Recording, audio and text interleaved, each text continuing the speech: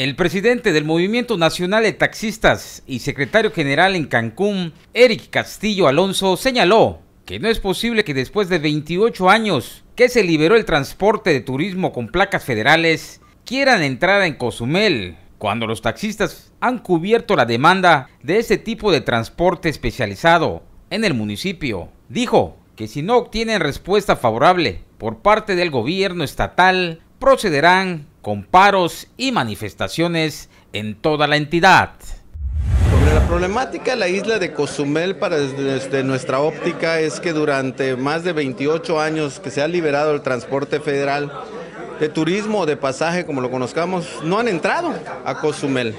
La pregunta va hacia ellos, ¿por qué después de 28 años de no entrar a Cozumel, ahora sí deciden entrar, independientemente de la ley que pudieran apegarse?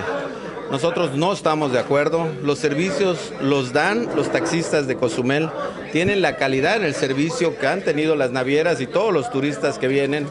Y consideramos que Cozumel lo ha trabajado siempre y están en su derecho de defender la fuente de trabajo. Vamos a, ya pusimos la postura de que el gobernador atienda el caso Cozumel. Estaremos los 17 líderes en Chetumal el miércoles a las 11 de la mañana y no nos quitaremos hasta que nos atienda el ciudadano gobernador, don Carlos Joaquín González.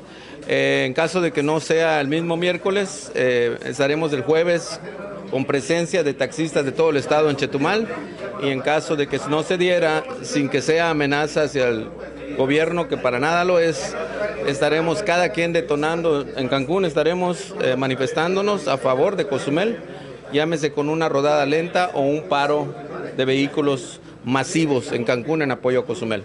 Caso Cozumel se tiene que resolver. Nunca ha habido tales cancelación de concesiones. Yo estuve en el movimiento anterior. Es un tema legal, sí se intentó, pero se defendió y no hubo tal cancelación. Sí pueden amenazarnos con cancelar unidades siempre y cuando se le dé mal uso a una concesión de cerrar una vía.